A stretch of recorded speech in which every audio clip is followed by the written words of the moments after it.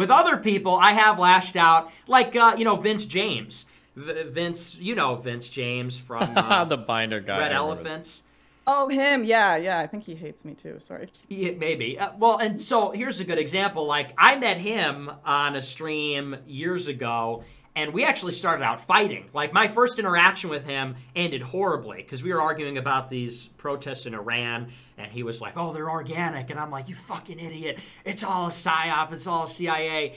And uh, and we beefed for a, for a little while, for months, and then eventually we just kind of got over it. And now he's he's you know he's uh, on the board of the foundation. He's one of our favorite streamers and so on. So, so you know especially with men sometimes you have to fight first i feel like. I know maybe you guys would think that's toxic or something but i don't know. I, I feel like it's almost natural sometimes just lock horns.